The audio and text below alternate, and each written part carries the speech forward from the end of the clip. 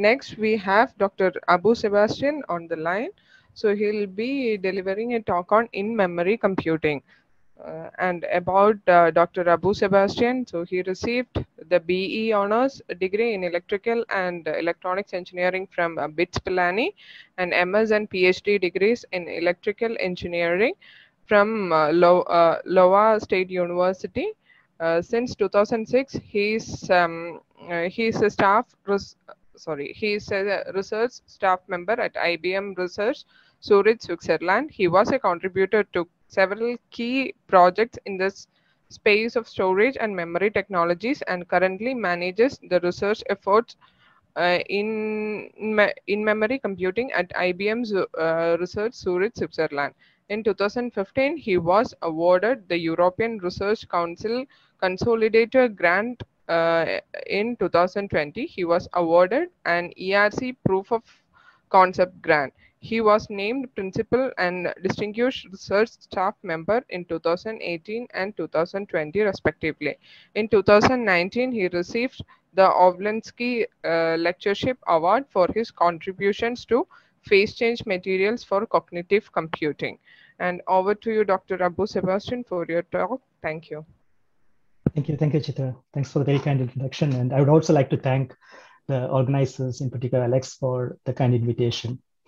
Um, uh, right. So today uh, I was planning to think about talk about in-memory computing, and then I saw that there were quite a few talks, uh, you know, uh, on the on the topic. So I thought I would uh, focus my attention on uh, some of the work that I've been doing, um, mainly aimed at deep learning and variants thereof. So that would be the the idea today. Uh, so this is how I would like to structure today's talk. So essentially there are three parts. So the first part is a very small one where I would like to briefly introduce uh, deep learning and in-memory computing. And then we move on to the, the second part where uh, we talk uh, a lot about, or a bit more about uh, how we do deep learning based on computational phase change memory. This is the bulk of the work that we do here in Zurich. and then the final part, which is a bit more forward looking, where we look at some of the applications that go beyond conventional deep learning.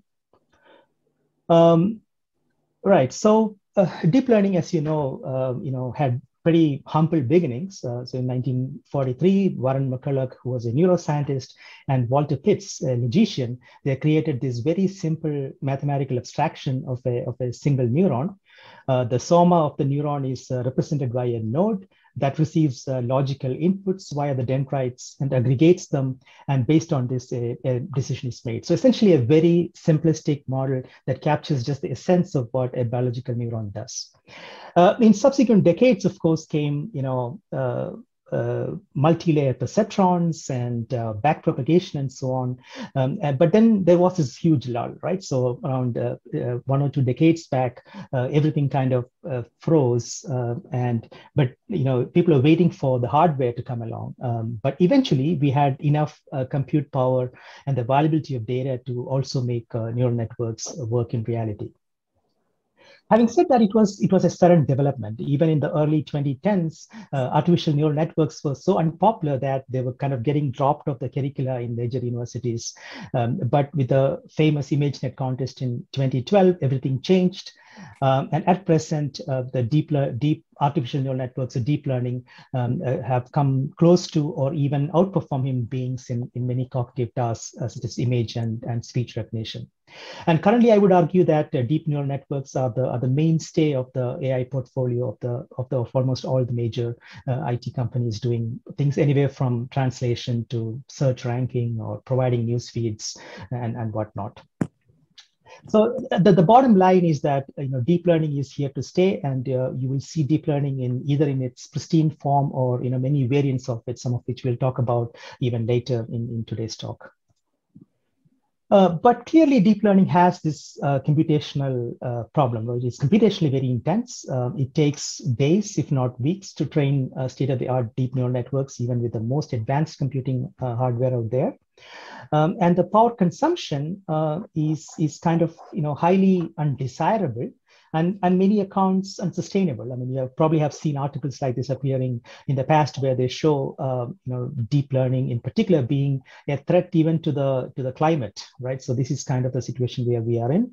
Um, and uh, if you look at uh, how much uh, deep learning is getting incorporated in uh, the edge and end device applications, including the kind of applications that Bhaskar was talking about, uh, you know, this is even prohibitive to have this kind of energy consumption when it comes to deep learning. Uh, so this has kind of woken up uh, computer architects, right? So they really have woken up to this challenge. Um, and I would uh, argue that deep learning is probably one of the key drivers uh, for innovations in the field at present. Um, and if you look at a, a, computing system, so part of the innovations can be just trying to improve on the conventional general purpose computing system. Uh, for example, you could always introduce new forms of technology, such as you know the so-called storage class memory, you know, which is kind of this non-volatile DRAM. Um, you know, and you can also potentially try to introduce concepts such as near memory computing. You know, try to perform a bit of computing uh, right on the memory chip. Um, so these are all things that you could do on the on the general purpose computing system side of things. Uh, but the most active area of research uh, right now is in the so-called standalone accelerator space, where you would like to optimize the computation and the data flow to achieve very high efficiency and throughput. And this is kind of what every single uh, IT company and non-IT company like the Amazons of the world are trying to do, right? Where they try to uh, kind of make the most out of the von Neumann architecture by kind of uh, designing everything um, very specifically for accelerating neural networks. But this approach is already uh, strained, given that you know we are kind of living through the waning days of, of Moore's law. Uh, moreover, the, the key reason for why uh, deep learning is computationally inefficient is a need to shuttle around millions of synaptic weights during the computation. And this kind of uh, is not fully addressed uh, in, the, in this form of uh, approach. Uh, so this has uh, prompted research on genuinely non uh, Neumann accelerators with uh, co-located memory and processing, and that is where in-memory computing come into play. And it is, I would argue, it is one of the most prominent approaches uh, in this direction of trying to um, make neural networks more efficient. Right. So, what is in-memory computing? so, the essential idea is instead of uh, shuttling around the data between the processing and memory units as in a conventional computing system, uh, we would perform the computation in place in the memory itself. Right. Uh, so the what you see on the top is kind of like a conventional Neumann approach where you have processing in one side and the and the memory is, uh, is, is sitting elsewhere. And then during computation, you need to keep shuttling them back and forth. Uh, but the question is, okay, but in the in the bottom, you see how in-memory computing happens, whereby the computation is happening all by itself, you know, in the memory itself, without having the need to move it into the processing unit. Now the question is, okay, how, how is it achieved? It is achieved by exploiting uh, in tandem the, the physical attributes of the memory devices, their array level organization, uh, the peripheral circuitry, and so on. Uh, so it can be kind of viewed as a subcategory of the so-called the broader field of processing in memory uh, that also uh, includes the so-called near memory computing right? So in near memory computing, you have memory sitting there and you have some logic blocks right next to the memory. Uh, but in in-memory computing, uh, you are kind of collecting, uh, collectively computing on the memory itself. And that is kind of the key distinguishing feature. So I would say that the, you know, the key distinguishing feature or the litmus test for in-memory computing, uh, say in contrast to near memory computing, is that at no point during computation, the memory content is read back and processed at the granularity of a single memory element. You are not reading back the memory and then processing it, but rather you are collectively computing on the memory itself. Um, uh, but all of them fall in the category of uh, processing in memory, or some people call it computing in memory. So naturally, uh, you know, memory is at the heart of in-memory computing. So, so far, you know, in the, in the conventional picture, uh, memory is just a place where you store your data, whereas uh, here, memory is like an active participant of the computational process itself. Um, right, so um, uh, in, in, in, recent years, uh, in-memory computing has been uh, facilitated with both uh, charge-based memory devices uh, like SRAM and DRAM, as well as resistance-based memory devices, but by exploiting different physical attributes. You know, you could argue that in the charge-based memory devices, you are mostly relying on charge sharing, Coulomb's law, whereas in the resistive memory devices, you are mostly relying on Ohm's law, Kirchhoff's law, and so on. Um, uh, there was this very nice review article uh, that we wrote um, early last year, uh, which kind of summarizes the whole field and gives a very good introduction to, uh, you know, the, the device side of things and also some of the broader applications of in-memory computing. But today I would talk mostly about the, the deep learning application for in-memory computing. Right, so let's look at uh, a bit more detail into how we do uh, deep learning based on, uh, in this case, computational phase change memory, uh, just as an example. And that's also, as I said, one of the uh, main activities that we pursue in my group uh, here in Zurich. Um, so what are phase change memory devices? So these are, um, you know, these are uh, based on the property of uh, certain compounds of uh, germanium, antimony, and tellurium, whereby they have drastically different electrical and optical characteristics depending on their atomic arrangements. Uh, in the disordered amorphous phase, they have a very high resistivity, and in the ordered crystalline phase, they have a very low resistivity. Now, if we sandwich this uh, tiny volume of material between two electrodes, uh, we can make a memory device. So by applying a voltage pulse and subsequent Joule heating, the material can be reversibly switched from the crystalline phase to the amorphous phase. And now, depending on the phase configuration, the device will have a different uh, resistance value. And this difference in resistance can indeed be read back by biasing with a small amplitude read voltage, which doesn't alter the, the phase configuration of the material. Uh, so uh, just to give you an idea of the dimensions, the bottom electrode of this uh, mushroom type PCM device uh, is something like uh, 20, sorry, uh, the radius is 20, something like 20 nanometer. So it's a very tiny nanometric volume of material which you are switching back and forth. it is thermally done, right? It's Joule heating, um, and you can switch them back and forth in this particular manner. So it's it's one of the uh, resistive, one of the most prominent resistive memory technologies. I mean, uh, you might know it from the 3D crosspoint memory, for example, right? And also there are also a lot of embedded variants of it. It's a commercialized technology. Um, and uh, I must also argue that this is, you know, just one among the several resistive resistance-based memory devices that could facilitate in-memory computing and could be deployed for uh, deep learning acceleration. Now, uh, so what are the key attributes that facilitate deep learning acceleration? Um, uh, in my mind, there are two of them. So one of them is the so-called uh, analog storage capability. Uh, just the mere fact that you can have, uh, you know, a continuum of analog conductance values stored in a device. So if you look at a PCM device, um, now if you apply uh, suitable electrical pulses, we can achieve uh, intermediate phase configuration. In the beginning, I said, you know, you can switch from crystalline to amorphous, but in reality, you can actually get a, a, a, get an intermediate phase configuration as shown here, where we modulate the size of the amorphous region. Uh, and in this way, we can achieve a, a continuum of resistance uh, or conductance values. So this is what I would call the analog storage capability. And for that, typically we use uh, a pulse of different amplitude. Uh, that's, that's what we typically do. Now, there is another um, property which is a bit more subtle. That's the so-called accumulative behavior. So here, the idea is that you start from a fully reset state, which is fully amorphous. I mean, this is kind of the kind of the fully amorphous state that you can get in a conventional mushroom mushroom device. And, and from there on, by applying a sequence of crystallizing pulses of the same amplitude, uh, then we can progressively uh, you know, crystallize and achieve lower resistance values or higher conductance values right? So uh, I hope you understand the difference. In one case, you are changing the pulses and you're trying to achieve some uh, analog conductance value. But in the other case, you need to apply the same pulse over and over again, uh, and you are able to change the conductance. Uh, so this is kind of uh, what I would call an accumulative behavior. It's sort of like a non-volatile integration, right? It's kind of counting the number of pulses during this process. So essentially, we have this non-volatile integrator or counter of programming pulses, and that's what I would call the accumulative behavior. Now, these two attributes, namely the analog storage and the accumulative behavior, uh, you would see will serve as the basis for deep learning acceleration uh, using phase change memory. Now, also note that any other memory technology that exhibits these two attributes are also viable candidates. It's just that all the concepts that I mentioned here are equally applicable if you can come up with a, a, device X, which has these two uh, properties that you can identify in the lab.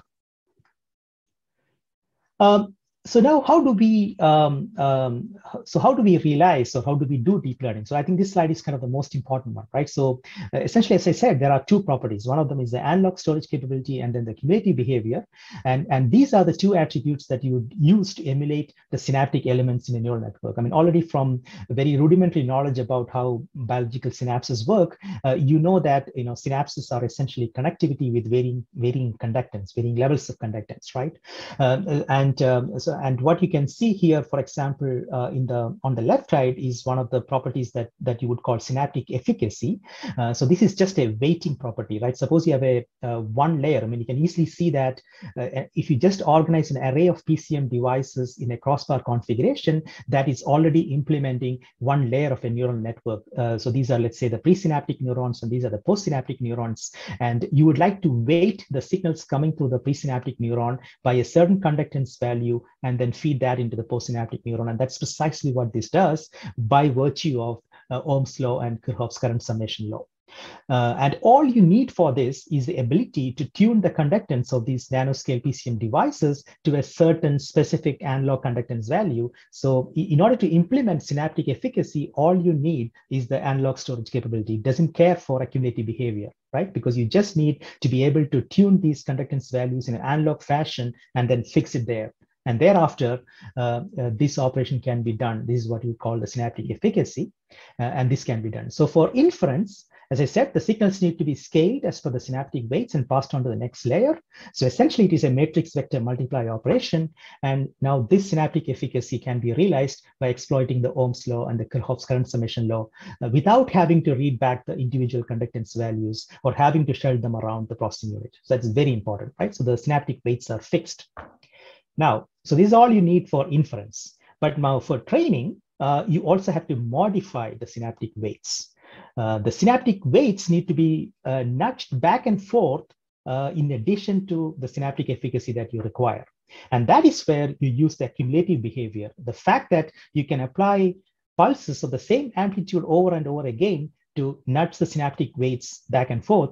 And this is what you employ, um, uh, uh, what you need uh, to do training. So for training, the synaptic weights needs to be, uh, you know, nudged back and forth as, as the network sees training examples. And this synaptic efficacy, synaptic plasticity can be achieved by exploiting the accumulation behavior, uh, again, in place in the memory array itself, because at, at, at no point are, are we reading back the conductance values and, it, and taking a decision based on that. It's all happening in place.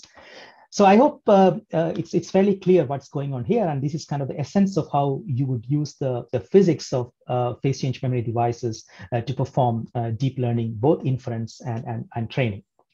Let's now go a bit more into detail. Um, so, or in more, a bit more detail in, in, into the uh, inference, for example let's assume that uh, you know we have a neural network so you know what we do is you know we train the neural network it's presumably trained uh, in software um, then um, the synaptic weights that are obtained from the training procedure uh, are then mapped onto the conductance values of an array of um, cores where the PCM devices are organized in a crossbar configuration as shown here. Then each uh, core will now perform the matrix vector multiply operations corresponding to each layer and pass it on to the next layer and so on and so forth. So that's what it happens, right? So it's, it's a very, very simple illustration of how a multi-layer perceptron is implemented using a, an array of uh, such uh, in-memory compute cores. Um, now, see, the biggest question mark when you're implementing these kind of neural networks is, uh, does it work? Because these devices, uh, you know, when you compute with them, they have very limited precision, and we always run into uh, problems of inaccuracy associated with the matrix vector multiply operations. Uh, so this is something that um, uh, we verified experimentally using phase change memory devices, in this case fabricated in the 90 nanometer CMOS technology. Uh, now the synaptic weights, as I said, were pre-trained in software and they were mapped onto the, the phase change memory conductance values. Um, uh, so this is a, a, demonstration of the classification accuracy um, as a function of time for the so-called ResNet32 network on the CIFAR 10 dataset. Um, and so these blue points are the real experimental measurements obtained uh, on hardware and the, and the dashed line is the software baseline, right? What you would expect. And it can be seen that we could uh, maintain very high classification accuracies uh, you know, well above 93.5%, um, uh, even though we were performing uh, the computations in an analog way using these very noisy devices. So this gave us a lot of confidence that, that this concept works. But having said that, uh, you know, it doesn't work just out of the bat. You cannot just train the, the weights and then uh, map them onto these devices. You have to do some clever training procedure, and that is something that is described in great detail in this paper that we published last year. So you have you need to have a custom training approach, but it's all done in software. You map the weights onto the onto the hardware, and then then it works uh, beautifully. Um, uh, even for training, um, actually there is, it's a bit more involved technique. It's called mixed precision in memory computing. Uh, we can achieve um, software equivalent accuracies. Um, uh, and uh, so this is the essential idea is that in, in the, when you do training, you map the synaptic weights or you map the, or you uh, initialize the PCM devices into a random conductance value. And as you're seeing the, the, the training examples, uh, you nudge the conductance values back and forth by applying these accumulation pulses. Uh, and once you train that network, then uh, the network can continue to inference. Um, and so this is something that, that we do. So again, you know, we start with a random distribution of PCM conductance values. You nudge them back and forth by exploiting now the slicing dynamics or the accumulation behavior. And eventually they settle down to this uh, optimal uh, synaptic values that, that, you, that you want. Uh, this approach is also uh, described in great detail in this particular paper, uh, which was published last year. And also, uh, one of these um, networks, uh, you know, which were trained in this particular manner, is available via cloud. So you can actually run the experiment um, on this chip, which is uh, in in IBM Zurich via the cloud. So if you go to this link, you can try out the chip by your own and convince yourself that some of these concepts do work. Um, right. So uh, let's now go into a bit more into the, the system level aspects, uh, right? So how does now an accelerator based on in-memory computing look like? Uh, so it would have uh, a number of in-memory computing cores interconnected by a communication fabric. Uh, it is a genuine uh, data flow architecture, right? Because the synaptic weights are stationary and the activation signals are, are propagated through the chip. So you can think of like each in-memory compute core performing a matrix vector multiply operation, passing on the result to the next core and so on and so forth. Uh, so hence, compared to a conventional uh, digital accelerator, uh, this kind of a IMC or memory computing based accelerator is, is amenable to highly uh, spatially pipeline data flows uh, with a potential to achieve unprecedented latency and throughput. Because you know you can each of these compute cores will be potentially running multiple you know different layers at the same time, and that way you can have remarkably high high throughput. Uh, in fact, some of these calculations were worked out for a, a range of networks. And if you look at uh, these papers from, from Martino, uh, you would get an idea as to what kind of performance we can expect uh, from this kind of a uh, end-to-end performance we can expect from this kind of an accelerator. Um, and also in this year's uh, VLSI, we actually had a highlight paper where we presented one of the uh, in-memory compute cores. You know, I, I mentioned like you know, the, each one of them is a compute core here, right? So we we presented one of them at VLSI. So it was a 200, 200 256 by 256 array of uh, synaptic weights. Um, each synaptic weight comprising uh, four phase change memory devices. Uh, this represents a signed weight. Uh, of course, it has all the ADCs and also a little bit of digital processing incorporated into the same uh, core. Um, and uh, and you can see that, you know, uh, we, I mean, it works beautifully. So these are all the conductance values that you can program them to. It's actually an analog storage device, but with just uh, 16 representative uh, samples shown here. Uh, we also perform the matrix vector multiply operation, and the precision is comparable to like a four-bit um, fixed point arithmetic. Uh, having said that, the accumulation is in high precision. So it's kind of a hypothetical four-bit fixed point arithmetic where you're performing each of the scalar multiplication uh, with four bit precision, but then you're accumulating in, in full precision. Uh, and if you look at the matrix vector multiply operation performance, uh, we are getting a pretty impressive 10.5 tops per watt and 16.5 tops per watt per millimeter squared. So this kind of the numbers uh, that we achieved and what we showed at, at, at VLSI. Um, so now, uh, you know, you would say, okay, the numbers are impressive for a first of its kind, but uh, you know, you would say, okay, it is not mind blowing yet. You know, you could potentially reach there with, um, you know, very advanced scaling. You know, if you go to seven nanometers or five nanometer, then potentially we might reach these kind of numbers. So what's the big deal, right? Uh, I mean, uh, I would say that this is not the end of the end of the story, right? So this is what we showed at VLSI. So this is the the dimension, uh, 0.8 millimeter by 0.8 millimeter, and the integration time. This is a computational time, right? 130 nanoseconds, uh, array dimensions, and this is the specs that I that I just talked to you about. Uh, but assume that we can now make this 0.8 mm by 0.8 mm to 0.2 mm by 0.2 mm, which is very reasonable to do. And if you can reduce the integration time to 15 nanosecond and increase the array size to 512 by 512, then immediately we start getting uh, much bigger numbers like 100 tops per watt and 261 uh, tops per millimeter square. So it gets extremely interesting. Uh, this, I think, is well within the reach of you know what we could do. Probably just a bit of engineering effort, uh, but one could also foresee uh, going even further down to 0.1 millimeter by 0.1 millimeter, um, 10 nanoseconds, 1024 by 1024 array. Uh, of course, this is also well within the realms of what a high density memory chip could look like, uh, and there you can see now some of these astronomical numbers that would be, I would argue, would be almost impossible to achieve um, uh, in a conventional digital accelerator. And on top of it, uh, you know, you you have the non-volatile weight storage, um, you know, the weight stationarity advantages, which I'm sure some of the previous speakers like Manan probably talked about, uh, where you know you have these added advantages, right? In addition to having very impressive uh, performance, uh, computational performance numbers. Yeah, so that's kind of the the promise of you know where we go, where we are, and and where we could go with this kind of technology. Um, so now uh, other other natural question that you may have is okay you said that we have something like four bit precise uh, multiplication uh, but is that sufficient? I mean can, is there any uh, chance we could go higher than four bit using analog computation? In fact uh, uh, it is indeed possible. There are very interesting device concepts which we are pursuing. In my group we have a very active research also on the physics of phase change memory devices and next generation phase change memory devices. And in fact we had another highlight paper at IEDM a couple of years back where we proposed a concept called the projected memory. So it's a, I won't go into details of it. It's a slightly modified phase change memory device, uh, which is just an additional layer of material besides the phase change material.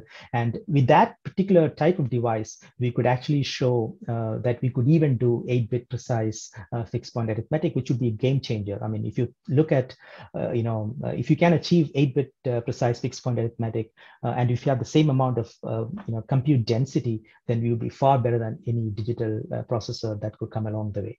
So extremely interesting and very promising uh, approach. Um, in addition to that, uh, you probably already heard uh, from Harish's talk. I mean, I've been we have been working with the Harish's group on uh, trying to also have uh, in-memory computing also done in the photonic domain. And, and, and one of the main uh, reasons for that is, you know, in my previous uh, outlook, I kind of said that the, the fastest integration time that you can probably get in the electronic domain is probably 10 nanoseconds. Uh, and that's kind of where probably the capacitance of the array and all that thing will kind of limit you. And even that is kind of aggressive, I would say. Uh, but uh, the advantage that if, you know, if you can make a photonic array using very similar concepts I'm sure Harish talked about, then we can actually have a photonic crossbar array, which is like an exact counterpart of the electrical crossbar array that I talked about. And, and on top of it, we'll be able to get this advantage of the very high modulation speed that you have in photonics. Right? You can have uh, 10 gigahertz, uh, anywhere north of 10 gigahertz in photonics. Uh, and this along with the wavelength division multiplexing, the fact that you can now encode on uh, multiple wavelengths means that we could have some truly remarkable uh, compute performance. Uh, yeah, so these are two, you know, kind of forward-looking uh, technological advances. So one of them is a projected memory, which could possibly improve the compute precision, and then uh, photonic in-memory computing, which could actually break the speed barrier, right? We can actually go way beyond the 10 nanosecond computational time that I talked about earlier. Right. So now let's move on to the, to the last and the third part of my talk, where uh, I would like to uh, kind of talk a bit about the applications beyond conventional deep learning. And I think it's extremely important, especially for the student uh, students who are on the call, because uh, you know deep learning acceleration is already kind of old story and there's a lot of work to be done there still but i think we shouldn't uh, also take our eyes off some of the other very interesting things going on uh, going on you know which might come down the down the road uh, so let's just look at uh, you know how does the deep learning landscape look like, right? Um, so if you look at, uh, you know, the, you know, the rise of uh, deep learning uh, over the last decade has has surprised almost everyone, arguably even the most ardent believers in this approach. Um, you know, the emergent behavior that arose from these very simple models of neurons and synapses uh, have kind of revolutionized fields such as uh, computer vision and, and, and machine translation. Uh, so, so deep learning per se, I would I would argue would be the, the de facto to go technology when it comes to uh, vision and, and machine translation. Um, but uh, but but what else? I mean, what what next, right? Um, there is also a significant research on combining um, artificial neural networks with other uh, machine learning approaches, uh, such as you know Monte Carlo tree search, reinforcement learning, symbolic AI, uh, explicit associative memory that's what is shown here uh, etc so these are all so people have realized that okay deep learning uh, as a as a tool is very good for finding correlations. It's a great function approximator but you may have to add something to it to to really do stuff right? And in many instances this has significantly expanded the power of deep learning to realms where uh, we thought deep learning had uh, no hope of succeeding uh, so this is a a very interesting area. We have to keep an eye there because this is kind of where we are going. I mean, people have found out, okay, this is what deep learning can do. Okay, now the question is, okay, what can I attach to deep learning to make it even more powerful and go towards something like uh, artificial general intelligence or, you know, or, you know, something, something along those lines. Now, another uh, key area of research is, you know, the more biologically plausible artificial neural networks, right? So there's always this promise of enhanced information processing capability by having additional neuronal and synaptic dynamics, temporal codes, etc. So this is again a very alive and well uh, field, right, where people are trying to see, uh, you know, whether is there any benefit in having more biologically plausible uh, deep neural networks. Um, so I just want to uh, touch upon both of them a little bit and some of our recent work in these areas. Um, so if you look at the first part, right, deep neural networks um, uh, plus something else, right? Plus something, uh, and that's something that we have been looking at mostly is the is explicit memory. So the the, the connectivity uh, you know, as you know, if you look at a neural network, the connectivity in a neural network is some sort of implicit memory, right? It's some memory that you create during the training process. Um, uh, I would call it the implicit memory. Now, traditional deep neural networks, they require enormous amounts of data to build up that implicit memory, as you know, right? You train on millions of data sets to finally arrive at that implicit memory. And this kind of makes it very difficult to relearn and adapt to new data when they come along. So this is why they are extremely difficult. Uh, why you know why uh, deep neural networks don't learn like the way like a human baby learns, for example. Right? We keep making that analogy. Um, now, uh, to, to overcome this, uh, one prominent idea uh, is to enhance such deep neural networks with an explicit memory now, uh, to which the neural network can read and write onto, right? So this is kind of like a neural network talking to an explicit memory. Now, this kind of talking is so-called the soft read and write, and um, it's sort of like an associative memory search. And this is highly unsuited for conventional von Neumann architectures because you have to touch every memory device in this explicit memory. So uh, this architecture has been shown to be very powerful. There have been many papers over the years, but from an implementation point of view, it's a nightmare because of the, of the fact that you need to do these soft read and write operations into this explicit memory. Um, so what we recently did is we found a way to realize this explicit memory using uh, pseudo-orthogonal high-dimensional binary or bipolar vectors. I mean, this is the so-called field of hyperdimensional computing, where you compute based on large dimensional uh, binary or bipolar vectors, you know, dimensions uh, in excess of uh, maybe 1,000 or 10,000 even. Um, now, uh, we found that such, an, uh, such a high-dimensional explicit memory uh, to be very useful for uh, few shot learning, uh, in particular learning from very few examples. We actually got a uh, like a record accuracy when it comes to few shot learning. I would encourage you to go and look up this paper for more details on how that was done. Uh, I mean, but for the purpose of today's talk, the idea is that you want to have your explicit memory built out of these high dimensional vectors, right? And that would uh, that would make things much nicer in many respects. I also want to put a teaser out there because if you can have this high dimensional uh, vector based explicit memory, then you can also do higher level reasoning and some of these things. So it's, it's also this potential potential for that. Uh, again, there was this blog article that we wrote where we uh, wrote about some of these potential for this kind of an approach. But let's stick to the in-memory computing side of the thing. So uh, besides all the computational advantages that a high dimensional explicit memory would bring in, uh, another very nice advantage of this approach is that we can implement this soft attention mechanism, right? The soft read mechanism that I talked about, uh, all in memory. Um, so we could uh, facilitate a robust implementation of not just the deep neural network, but this something, in this case, which is explicit memory using in-memory computing. And um, uh, so we can essentially realize this very efficient associative memory search um, uh, using in-memory uh, dot product operations. So it's again a concept that we showed uh, last year sometime how we could do it, uh, but we also right now implemented it in this context of a, a explicit memory attached to a neural network. So, uh, so the, the message I want to give is that uh, in-memory computing doesn't seem to be just confined to accelerating uh, deep neural networks per se. I mean, clearly, you could have implemented uh, the deep neural network using the approach that I talked about earlier, but you can also try to accelerate some of the additional elements uh, of uh, such kind of emerging, uh, you know, forms of deep neural networks. Now, coming to the to the last part, right, which is so. So, what about the more biologically plausible deep neural networks? Um, um, so the, the, fundamental question is, okay, you know, uh, okay, what is the key distinction and why would even care uh, looking at uh, spike neural networks? So if you look at a conventional deep neural network, uh, you know, the neurons are static nonlinear functions, synapses are scalar multiply units, and the information is uh, transmitted as floating point numbers. But if you look at biological neural networks, uh, you immediately see that neurons and synapses are now dynamical entities. That's one of the biggest differences, right? So you have uh, you don't have this kind of static nonlinear functions neurons, but we have some dynamics there. Similarly, for the synapses, they have their own uh, synaptic dynamics. In addition to that, information is encoded in terms of time and transmitted by spikes. So there's no floating point number involved in the case of uh, uh, spike neural networks. Rather, uh, the brain is computing uh, or spike neural networks are uh, computing based on time, right? Time is the compute variable. Um, uh, but I mean, you can see that there are some similarities, but of course there are um, differences. And in, in my view, uh, a spike neural network is a kind of an extension of an artificial neural network. And what we found is that with this very simple um, artificial neural networks, we could get this emergent behavior and we could do like amazing things. Uh, but of course, a spike neural network can only add on to it, right? Because it is more powerful, because it has more, more um, uh, you know, um, more dynamics into the whole system.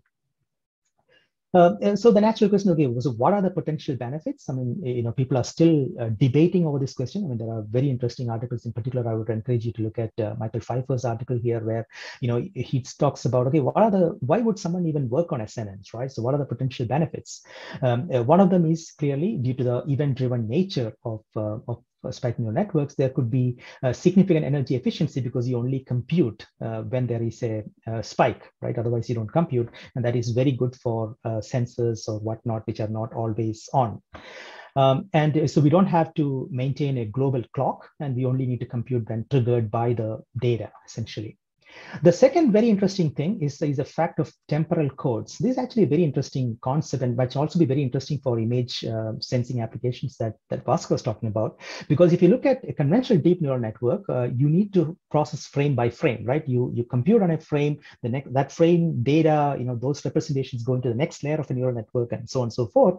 But in a spiking neural network, you can possibly have a single spike just cutting across the layers and getting you the decision right? So that uh, has the potential to have this very uh, low latency, which is something which many years back Simon Thorpe had shown, uh, you know, by looking at the human visual cortex and, and explaining how fast you can sense objects, even though if you just compute layer by layer the computational time, it wouldn't add up, right? So clearly a spike is kind of winning the race and then cutting across the layers and then giving you the, the, uh, the result.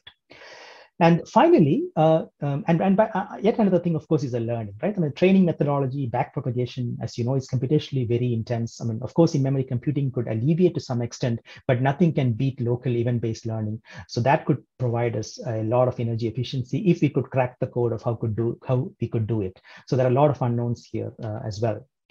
Now, the last part is synaptic dynamics. So as I said, in a conventional neural network, you have this fixed, um, you know, weighting of, uh, of, it's a very static weighting of your signal.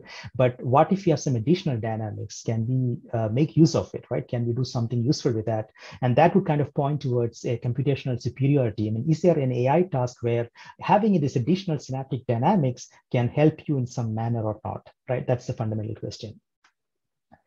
So regarding the last part, we try to answer it. Um, so the, uh, you know using um, a, a, very interesting demonstration. So so we we demonstrate we demonstrate that a spike neural network equipped with a short-term spike-dependent plasticity. Again, don't want to go into the details of what that is. It is a it is a short-term plasticity, but it is also spike dependent. Um, uh, I'm not even trying to explain it in this very limited amount of time that we have. But uh, the whole idea is that I want to add this tiny amount of dynamics to the synapse, which is this short-term component. Um, and uh, it was shown, even theoretically, that it can infer exceptionally well in dynamically changing environments. So as an example, let's look at a, uh, you know, like a, just a simple MNIST classification problem. It works, you know, if you if you use conventional deep neural networks, it works amazingly well. Uh, but if you start now occluding that image as shown here with something, right, just covering it up, then of course, all the deep neural networks will start failing miserably. Um, but uh, what we showed is that if we can have a spiking neural network with this short-term STDP property, then that can deal with this remarkably well and could outperform several types of conventional deep neural networks, even those who are trained on the full training set, including the uh, uh, occlusion, right? So remember that the spiking neural network that, that we used, it was only trained on the MNIST data set, whereas, for example, the LSTM that it is used to compare against have, was trained on the, on the full uh, data set, which includes occlusion. It knows that an occlusion is happening. And even then, the, the spiking neural network with this simple um, uh, ST-STDP short-term plasticity uh, performs much better. So uh, I, I, think uh, this is one of the first real demonstrations of a, of a tangible uh, example of a computational um, superiority arising from having this additional synaptic dynamics. Of course, there are also a few others, I'm sure, but this is one of the uh, one of the foremost ones, at least I've come across. Um, right. Um, so this is just uh, you know uh, just to illustrate why it is still probably interesting to look at uh, you know uh, this additional synaptic dynamics in spiking neural networks. Uh, but now let's assume that spike neural networks were great and, and imagine that they are, uh, you know, they can do some amazing things. But even then, running them on conventional uh, von Neumann uh, machines is a nightmare uh, just because of the nature in which they operate. You know, you need to implement all these dynamics, you need to implement, uh, you know, this time-based computing, time-based learning rules, all that stuff. so naturally, it is, it is not not at all ideal for conventional von Neumann machines. Um, uh, and hence there was, as you know, quite, a, quite some effort towards building special neuromorphic chips, uh, one of them being uh, IBM's TrueNorth, um, you know, and, and, and, and, uh, and this was based on a digital uh, CMOS technology. And then, uh, for example, there are also analog mixed signal approaches pursued mostly by the Institute of Neuroinformatics. This was kind of the old Carver Mead approach where we were trying to exploit the subthreshold MOSFET characteristics directly emulate neuronal and synaptic dynamics. So the, the message is that we definitely need some kind of SNN co-processors. If at all, we have to implement spike neural networks in an efficient manner. So first you have to prove that SNNs are useful. And if they are found to be useful, then you need uh, specialized hardware to implement them.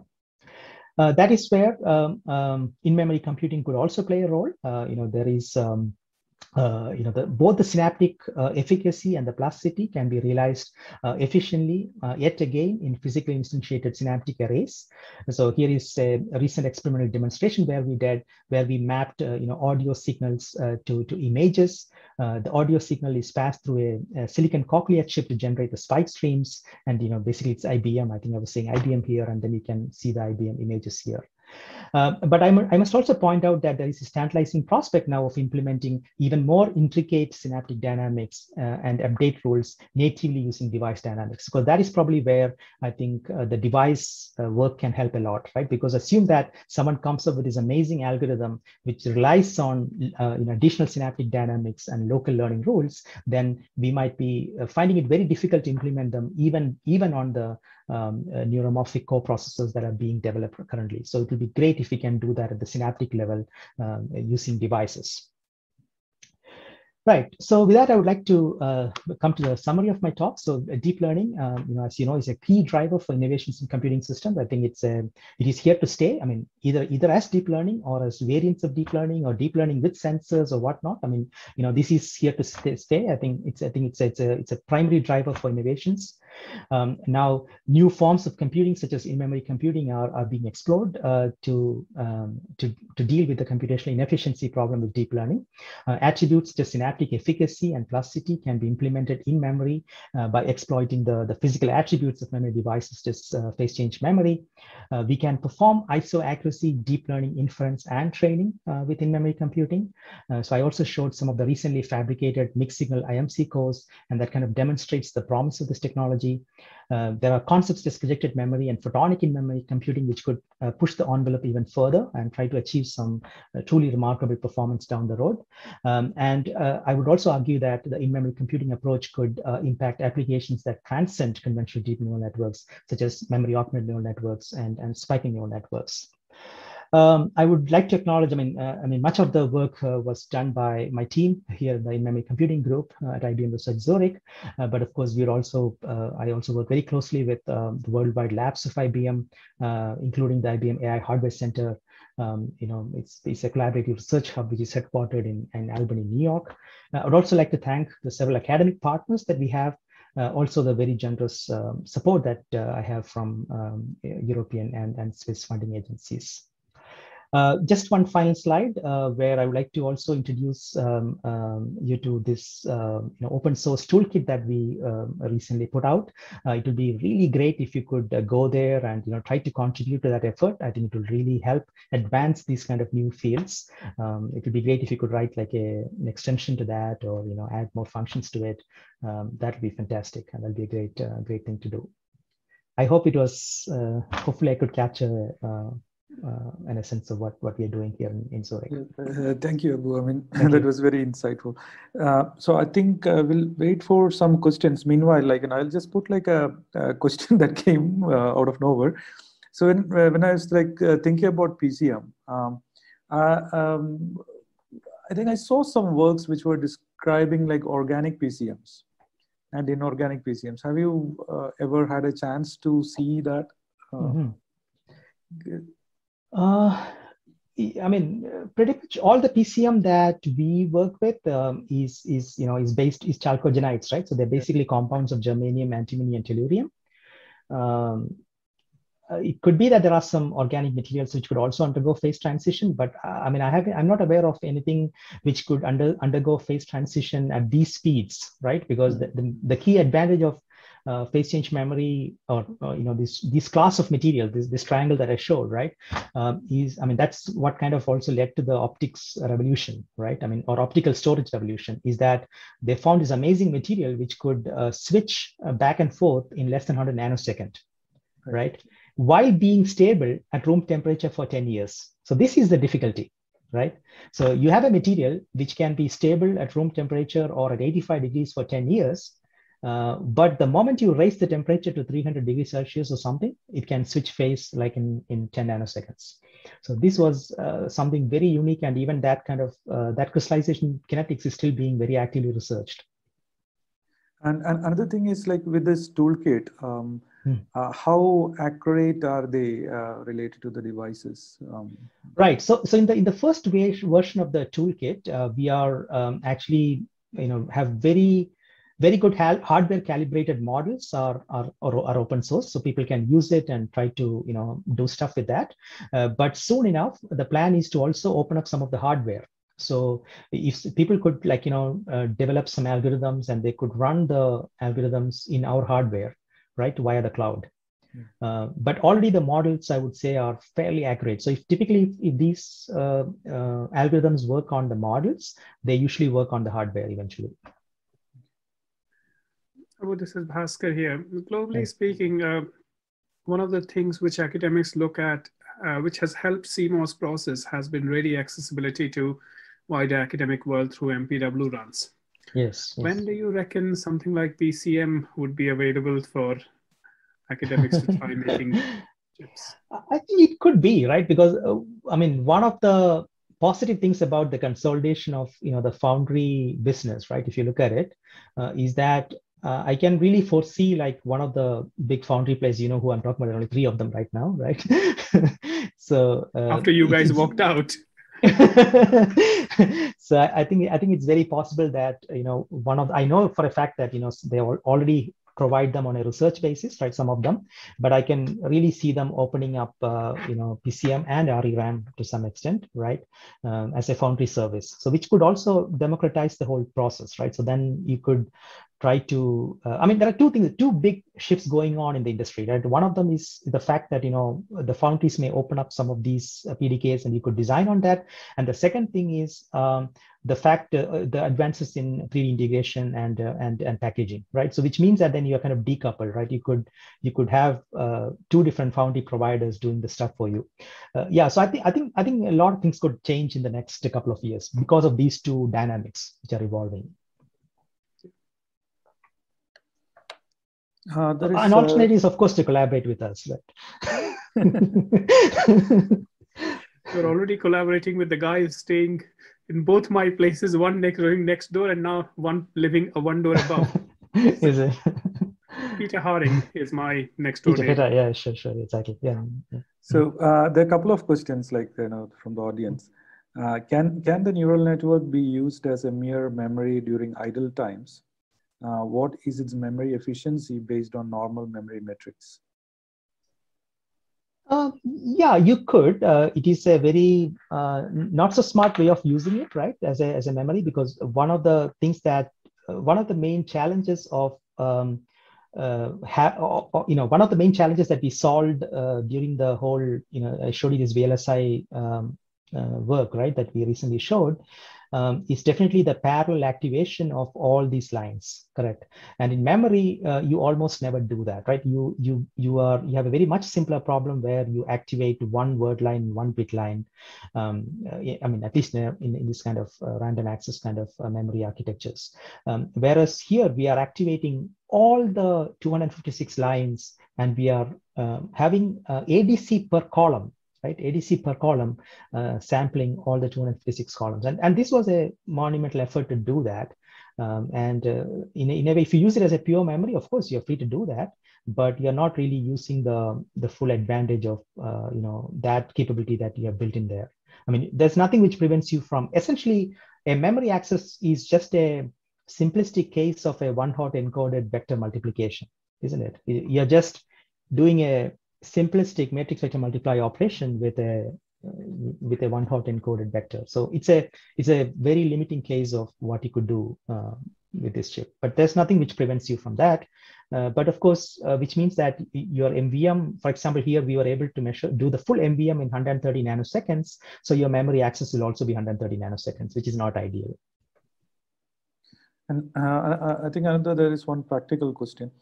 Uh, could you please comment on the conductance range of PCMs used in different size slices, like 256 by 256 or 1024 by 1024, etc.? And is there any right. kind of loading effects that you observe? Yeah, uh, I think it's always good to uh, have as resistive uh, memory as possible uh, because um, you would always want your memory device to be uh, be the primary contributor and then not the interconnects, right? Uh, so it's always a, and that's one of the big advantages of PCM and um, resistive RAM over say, say MRAM because MRAM has uh, you know very low uh, resistance values over overall. Um, uh, yeah, so so so it is always good to have. Um, you always try to push for the highest uh, resistance as possible. Uh, but then, of course, the device physics will kick in at some point, right? And then you won't be able to um, to get that. So I would say uh, like a mega ohm, 10 mega ohm is kind of ideal. Um, if you have sufficient SNR, I would even push even more because unlike memory, you are not sensing at a single device level, but rather you're always accumulating the current. So you, you have an opportunity to go even higher. If you want, you can even go to a giga ohm, right? Uh, because you'll have sufficient current because you're integrating over thousands of devices. Uh, yeah, so this is something which in memory you probably never do that, but in in-memory computing, I think there's a lot of incentive to go as high as possible. Uh, just out of curiosity, um, uh, is your ADCs like area smaller than that of the PCM area? Oh no, ADC is. Uh, I mean, I think it's. Um, you can kind of see it, right? So, so you only have. I mean, we have 200, 256 by 256 uh, unit cells, mm-hmm. uh, whereas you know this blue area is all ADCs, right? Yeah. Um, yeah. So, so it's definitely uh, bigger, uh, and this is also one of the key research areas, right? How to make it mm-hmm. compact. Um, right, right. Uh, and, and and and small, yeah. But having said that, the PCM here is also not that dense, right? Because we purposefully, I mean, first of all, we had a 40 uh, mm. sorry, 4 PCM, 40, then, uh, 4 PCM the... HR design, which was a an over, we overdid it because we just wanted redundancy, but it's not needed. You can actually have just two devices. Okay. So, okay. yeah. Uh, so there's another question. What would be the ideal method of distributing the data sets uh, according to the training, validation, and testing for SNN? Oh, I, I think that would be. Uh, I mean, it's it's a very broad question, right? Yeah, yeah, to, yeah, yeah, yeah, It's very okay. Uh, there was another one, um, which is the most accurate method for training SNN. Yeah, training SNNs is, uh, you know, uh, I mean, there are two ways in which you could. It, it depends. I mean, SNN again is a very uh, broad term, right? I mean, anything biologically plausible, uh, we club under uh, the umbrella of S- SNN. So, uh, I mean, it, it's it's very difficult to put it under under like you know one framework. But typically, what people uh, mean by SNN is that they would um, try to convert, um, you know, all they would try to avoid all the floating point based information transfer and try to make it spike trains, right? So you, that is one thing that they typically do. And the other thing is to have an integrate and fire neuron with some dynamics instead of just having a static nonlinear function as what you have in ANN. So this is what the, the simplest SNN that people typically refer to. Uh, and if you if you want to do that, there are essentially two approaches. So one of them is you you train a deep neural network and then you just convert it into a spike neural network. Uh, and this is the most uh, uh, I mean, prominent approach, and this is what people have kind of made it to work. Now there are enough uh, tools and approaches there to do that, right? So you could take a deep neural network and you can convert it into an equivalent spiking neural network. But you cannot expect to have any computational benefit from that. You have to understand that upfront, right? Because you are just taking a spike, uh, deep neural network and you're converting it into spiking neural network. Um, so the, the only thing you can benefit is potentially some energy efficiency, assuming the input signal is sufficiently sparse, right? Um, so this is doable. But any other kind of thing like online learning is still a very active area of research. There are ideas like eProp and whatnot, and all these ideas come there as, as backprop uh, alternatives, which are still not there yet. I mean, it is still very difficult to train a deep spiking neural network um, using any of those uh, real-time uh, or rather in situ training approaches. Uh, so we have to be very mindful of you know what we are doing when we are doing spiking neural network. We should have a clear mind as to what we aim to achieve with that. If our only objective is to achieve energy efficiency because of the sparsity of the information that is coming in, then I think we are there because we can train a deep neural network and make it spiking and do that, right? But if our objective is to kind of get a computational benefit out of it, uh, then you definitely have to add other um, synaptic dynamics and whatnot, like what I mentioned. So we cannot expect that to come from the former approach. And, and um, uh, just a practical question: what, what is the uh, maximum like number of layers that you manage to do with um, SNN on PCM? Um, SNN, uh, not really much because uh, I mean even this uh, supervised learning task that we did um, uh, is is I believe uh, it was just a uh, just a single layer, right, or, or, maybe two layers max because you can have a fixed layer up front. but yeah, in the SNN domain, not really. but in the ANNs, yes, we could we could go much deeper. Like the ResNet 32 was 34 layers, right? The experiment that was done. Uh, but but in SNNs, as I said, you know, if, if your objective is just to train the SNN, um, I mean, train and or convert an ANN into SNN, I don't see any reason why we cannot do it, right? right. It's just that it won't be as accurate as the ANN. So then the yeah, uh, and, and the, there are some groups which uh, uh, basically what they do is they try to combine like the spiking with like uh, uh, dense layers. So yeah, you could possibly do that. Yeah. Yeah. yeah but but my, my, but my point is that uh, alex is that if you're not going to use the temporal uh, coding or right. if you're not going to use the dynamics then snn will only be beneficial if the data is sparse right, right, right. Uh, otherwise you could you might as well do if you have a dense data coming if you're doing image classification why would you do snns i mean i don't see any reason why yeah yeah yeah, yeah, yeah agree So I, I think we'll leave uh, with that thought. Um, and and if if uh, if someone has like more questions, they, they could post that into the chat and we'll take it up.